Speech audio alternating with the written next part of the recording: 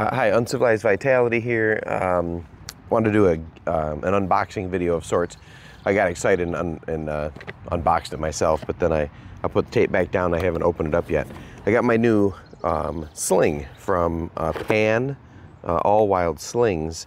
And uh, normally I just use paracord and a couple pieces of leather, or I'll weave one together and make a, a sling. Uh, we've done that as a craft project a lot for sling and spear tools. As a matter of fact, I also got my new book, which is uh, Sling Braiding uh, Traditions and Techniques from Peru, Bolivia, and around the world. And this book, uh, it's comprehensive full color guide, features, features dozens of images of slings from various cultures, both ancient and contemporary. This is the largest and best book on slings I've ever found. It's got all the patterns, it's got the split pouch style, the woven pouch style, the pierced pouch, the boat pouch. It's got uh, a great discussion of slings, so I'm looking forward to that.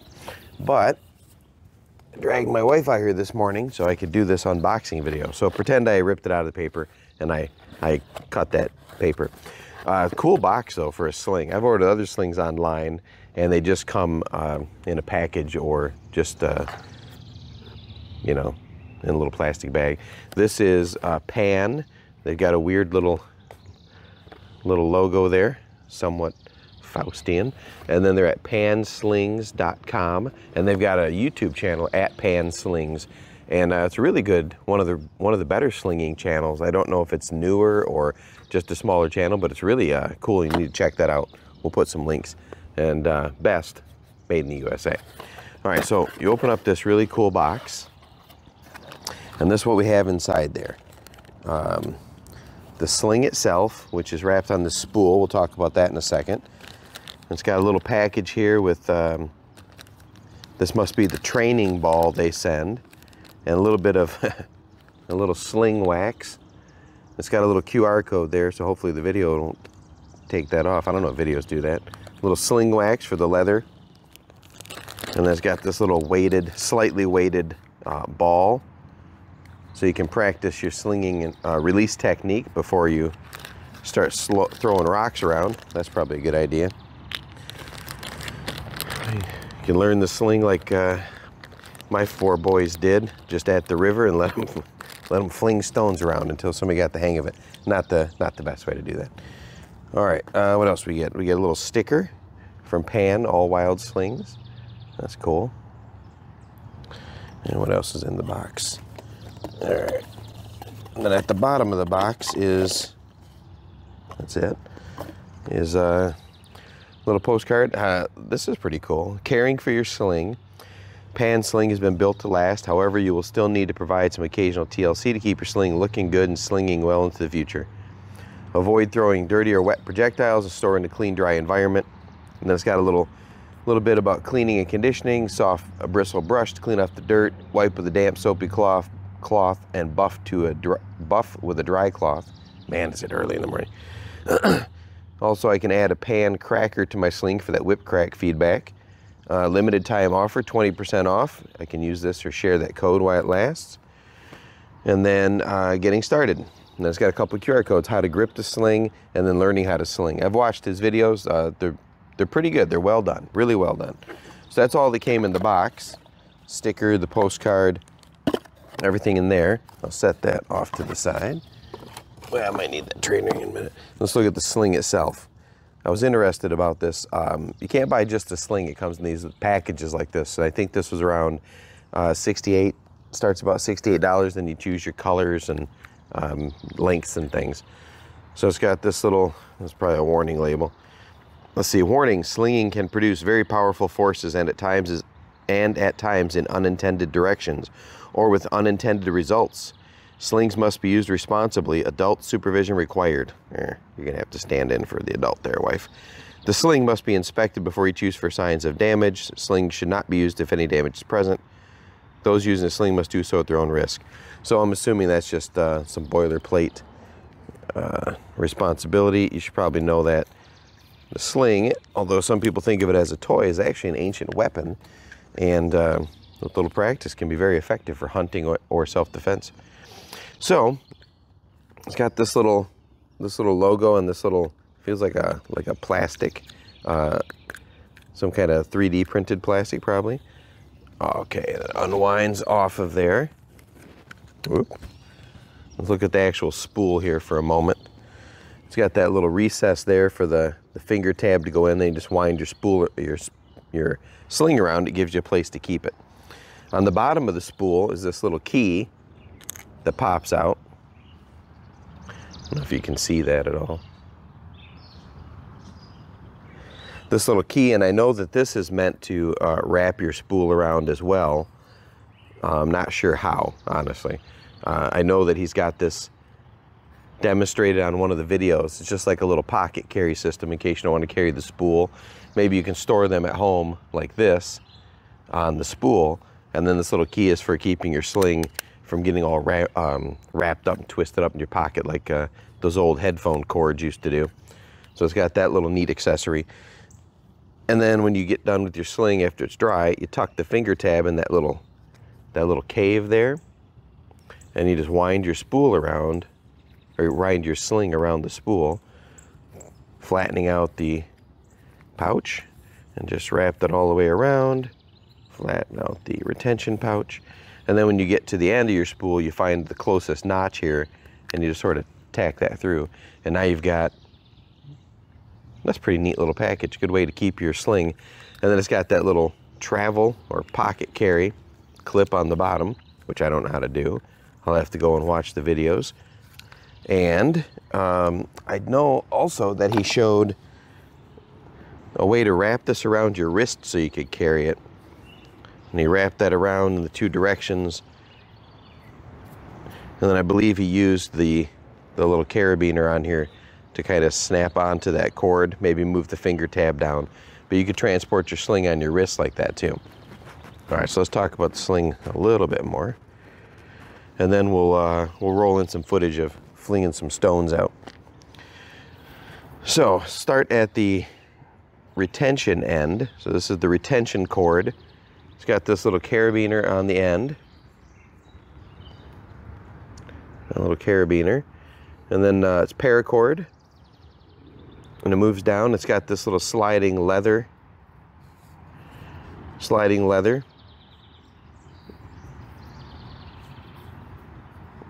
Uh, kind of looks like a miniature pouch, but I know this is the finger loop. I've seen that on the video. It's kind of a neat, uh, I'll show you that in a second.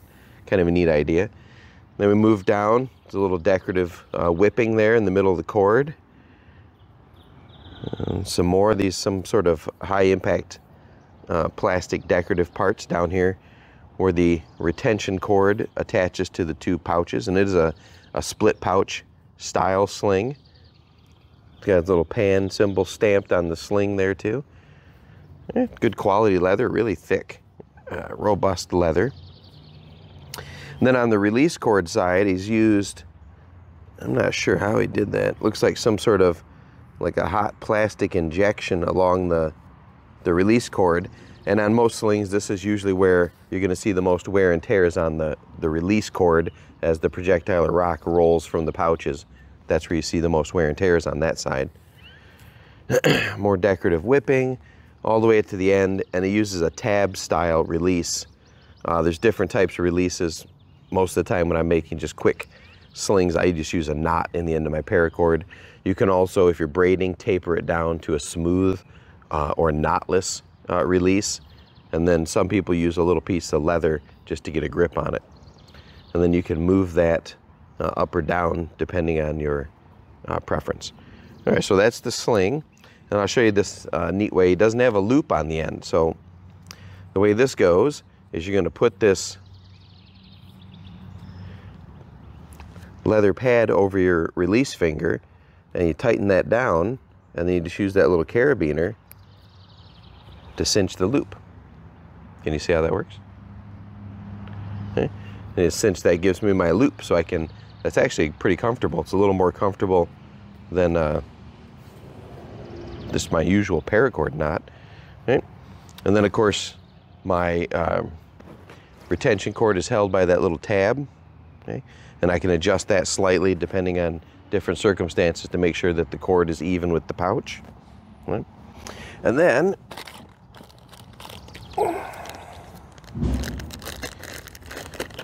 this little practice ball, this retention pouch, these split pouches are large enough that you could uh, you could use this with tennis balls, which is always fun to sling tennis balls around, right? A little safer than rocks, but you could use that retention, or sorry, that uh, that practice ball to practice moving your sling around in a circle.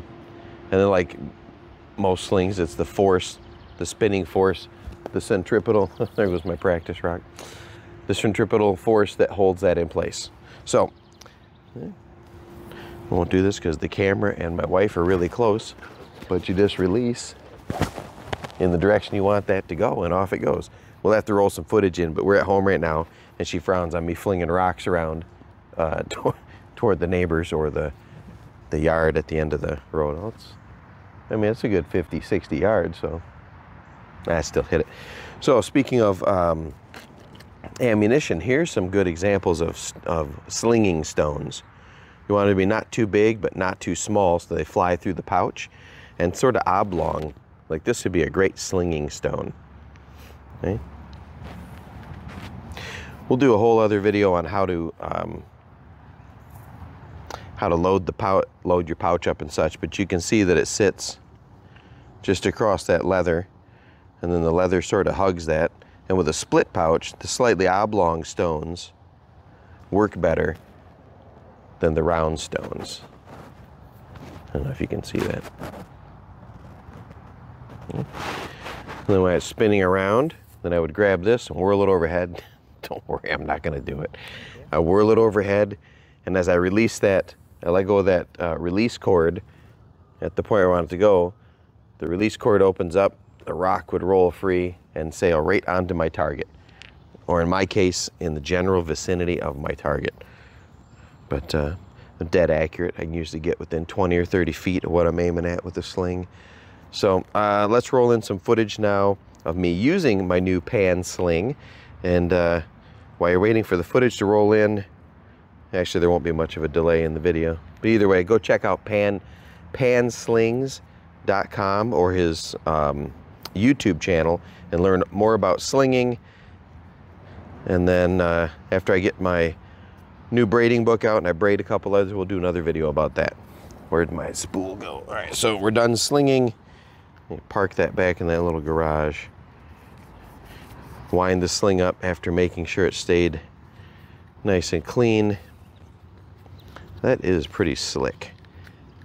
Just the spool alone. I'm surprised the spool came. Actually, I thought I was just buying um, one of those nifty slings after watching, discovering his channel. Because uh, I was searching for things about slings to watch because I just like watching people sling. Uh, after finding that channel, I was pretty surprised it came with the spool. I thought that was uh, like those were accessories or add-ons. I just popped that right in there. Yeah, cool. All right, panslings.com, and then uh, we'll roll in some footage of me uh, flinging these rocks over at the river. So that's it.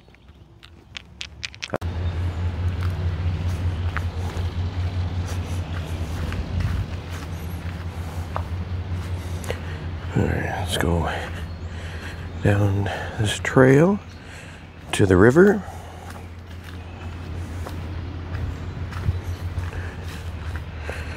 Try out our sling.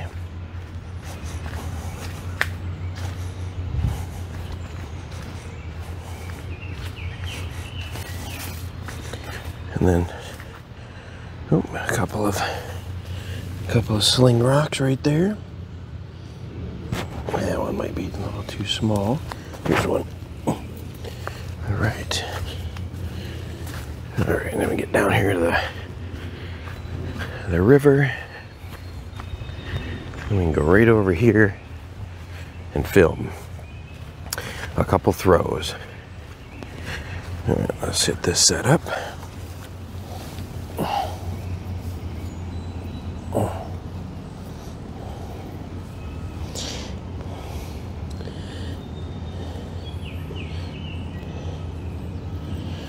All right. Hopefully this can still hear me. Oh, I had the microphone on. So, do a couple throws down here if the camera see me. One of those big rocks that is picked up. Put that right in the split pouch. And there are several different ways to throw a sling. Let me adjust this release cord a little bit, this release tab. I'm just going to use a real basic way just around the head once and then and then we're just going to release the sling all right first one was kind of sloppy right into the river. Load this next stone up. And we'll try it underhand this time. Whoa that one went way over. Yeah, that one made it almost across the river. I wonder if you could see that. I should probably get out of the way. All right, so this is the first time using my new pan sling. This takes a little bit of getting used to, like any new sling. It's got a satisfying snap when it comes around. As a kid, uh, we used to throw, we used to make slings out of uh, yarn and leather, or leather, leather um, piece of cord and uh, old pouches and fling uh, crab apples at each other. So the sling can be good. Like I said, it, it is a toy, like we played with as kids, but it's also, um, I don't say an ancient weapon, but it's a, a time-honored uh, weapon human beings have used. Uh, in, interestingly enough, just like my book, um, Peruvian, uh, Bolivian, they have um, northern Africa. There's evidence of slings. Of course, the Roman Empire, when you think of slings, you think uh, David and Goliath. So you think all around the Mediterranean and the Middle East. Uh, the Russians used slings. The Native Americans used slings. So it's interesting that all uh, pre-civilized people came up with the sling in all parts of the world. And uh, this one's pretty cool. There we go. That's my last rock and finally one good release. So like, share, subscribe, and check out the other uh, other sling videos we have.